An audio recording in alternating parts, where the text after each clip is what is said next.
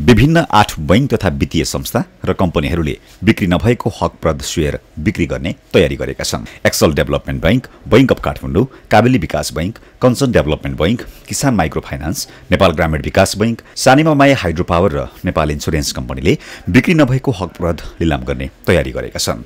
आठ कम्पनीले उनसत्तरी लाख एकचालिस हजार चौसठी हजार दुई सय रुपियाँ बराबरका उनसत्तरी लाख एकचालिस हजार छ सय बयालिस किता सेयर बोल कबोल मार्फत बिक्री गर्न लागिरहेका छन्।